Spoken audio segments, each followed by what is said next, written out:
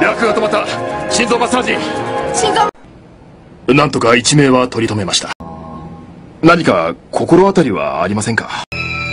その上2分間心臓が停止していました。起こした。鎮静剤を打て。はい。でも不可能ではないんですよね。限りなくゼロに近いと思います。元気だった母がいつも笑顔だった母がどうなってしまうのかお母様の今の状態を説明します。お座りください。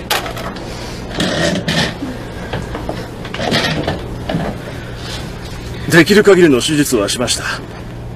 心肺機能への損傷は幸いあまりなかったようですが脳のダメージは分かりません。意識がない状態が続いています。あなたにとって奇跡なのがあそこまでの怪我を負っていながら脳に影響がなかったことです。実はあなたの顔のほとんどがなくなってしまったんです。ミラありがとう。まだ飯の用意もできてないのか？いやだってジョナサンが。やがって俺が働いてんだぞ！子供が生まれた当初は優しかったアルマンドだが何かにつけて